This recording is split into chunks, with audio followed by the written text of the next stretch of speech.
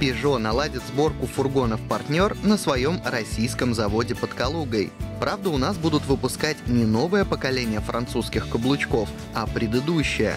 Пока известно лишь немного. К местной сборке сейчас готовят только грузовую модификацию, но в двух версиях – короткой и длинной. Также объявлено, что машина будет оснащаться бензиновыми и дизельными моторами. Это будут агрегаты объемом 1,6 литра, с которыми состыкована механическая коробка передач продаже партнеры российской сборки должны появиться до конца этого года. О запуске пассажирских версий Peugeot пока ничего не сообщает. Напомним, что под Калугой выпускают и более крупные французские фургоны Peugeot Expert и Citroën Jumpy.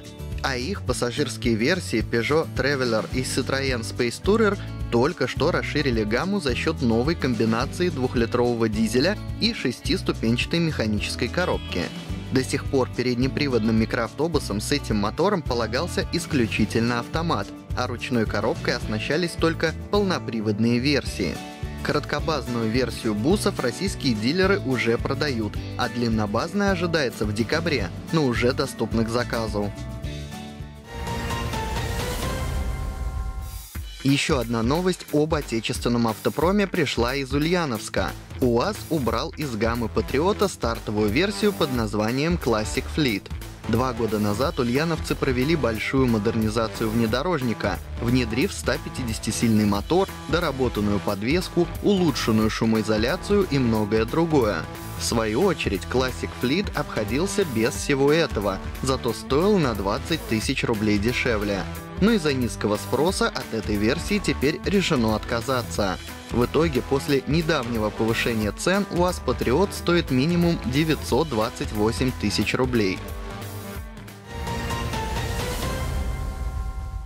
Автомобили марки «Лада» обрели неожиданное место прописки. Отныне их сборкой занимается Запорожский автозавод. Наладить локальное производство российских автомобилей наших украинских соседей вынудил запрет на импорт легковушек из России. Из богатого ассортимента «Лады» ЗАЗ будет выпускать только «Весты», «Ларгусы» и хэтчбеки X-Ray.